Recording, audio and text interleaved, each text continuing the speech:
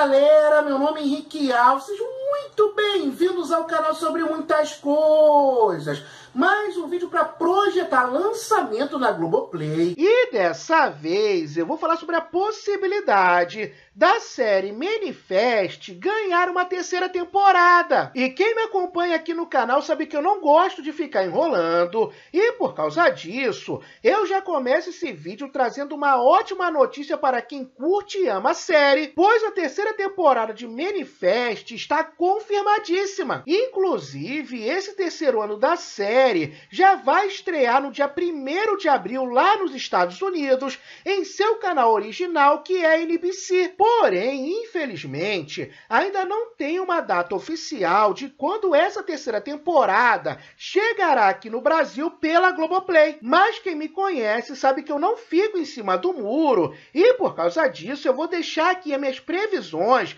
de quando a terceira temporada da série chegará na Globoplay. Na minha opinião, existem duas possibilidades de datas de estreia para a terceira temporada chegar na Globoplay. A primeira é que esse terceiro ano da série chegaria aqui no Brasil no dia seguinte, após o terceiro episódio da terceira temporada passar lá nos Estados Unidos, que seria o dia 16 de abril. E a segunda possibilidade é que a terceira temporada de Manifest estrearia na Globoplay uma semana depois da temporada terminar lá nos Estados Unidos, que deve ser entre junho e agosto desse ano. Ou seja, a terceira temporada de Manifest deve chegar aqui no Brasil pela Globoplay entre abril e agosto desse ano de 2022. E você já assistiu a segunda temporada de Manifest, gostou do que viu e ficou feliz com essa notícia que a série vai ter uma terceira temporada? Deixa aqui nos comentários. Gostou do vídeo? Curta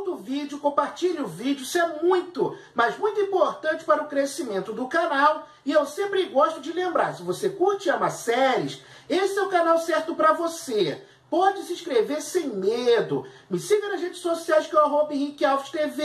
Um grande abraço e até o próximo vídeo. Valeu, galera. Fui!